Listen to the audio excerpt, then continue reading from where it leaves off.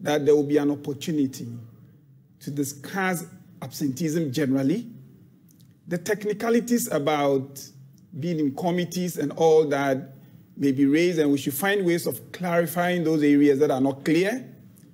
But we cannot, we cannot overlook the fact that absenteeism it's a problem, hmm. and almost every speaker has complained. Yes, and, and, and I, I look at the UK Parliament especially, and sometimes I see very few people in their chamber, very few.